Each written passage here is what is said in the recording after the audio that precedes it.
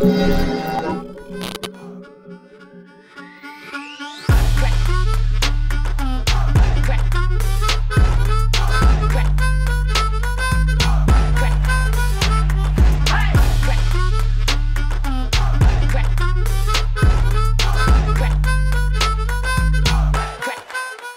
wir waren hier eben auf der Panorama ein bisschen zusammen unterwegs und äh, sag mal so deine ersten Eindrücke hiervon.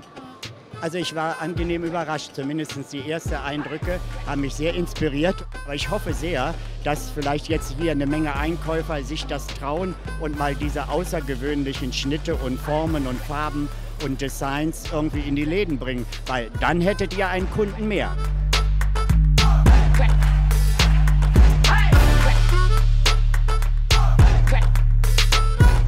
Sollte sich ein Mann anziehen oder, oder was, was, was findest du gut an, an, am Styling von einem Mann?